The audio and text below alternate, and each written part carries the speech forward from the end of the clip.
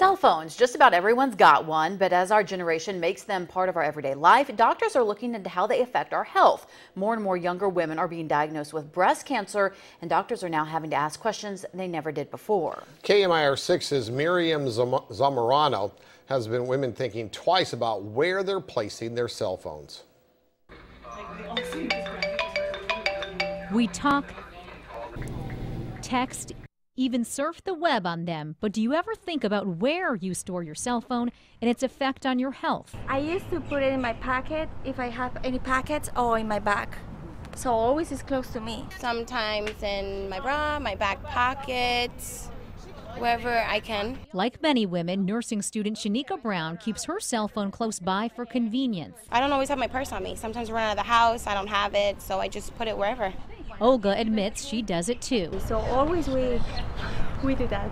Where you put it, especially in your bra, could be a little too close for comfort, according to some doctors. This is like a, a model of the breast. Dr. Rie Aihara, breast cancer surgeon at Regional Breast Care in Fort Myers, says cell phone usage has tripled over the past decade. There's a lot of um, questions regarding whether or not there's any uh, association of uh, cell phone usage with uh, uh cancer, and specifically uh, in the past, uh, a lot of issues about brain tumors, and now about breast cancer as well. She says there are a lot of factors factors contributing to the increased number of breast cancer cases.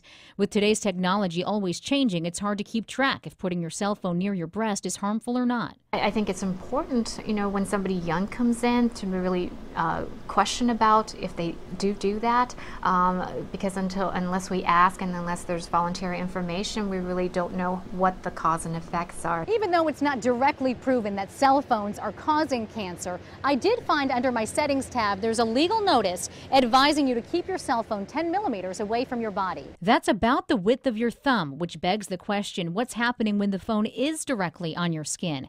Dr. Aihara explains. What cell phones do, uh, they emit something called a radio frequency uh, energy, which is a type of non-ionizing radiation. Basically, if you have it near your, your body, certainly that body part that's exposed um, can absorb that radiation. And it's really the antenna part uh, that's crucial. The phone notice says it has been tested and meets applicable limits for radio frequency exposure, but for younger women still developing, the doctor says more research needs to be done, along with looking into how much time we're spending on the phone and where we store it. It doesn't cause DNA damage per se, but it certainly can heat up the, the body, uh, the tissue right next to that area. Did you ever think that your cell phone, of where you place it, could possibly be linked to any sort of cancer? I mean, I've heard things like that. I've read things about it, but I I guess I'm just don't pay attention to it because I still place it in my bra sometimes when I'm jogging. Shanika Brown says she will try to put her phone elsewhere for now. Something Olga will also pay attention to. After this interview, of course.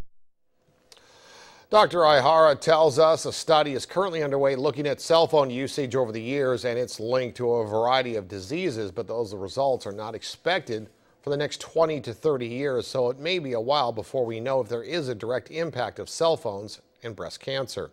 In the meantime, she recommends using hand-free devices whenever you can, and as much as possible, keep your cell phone away from your skin.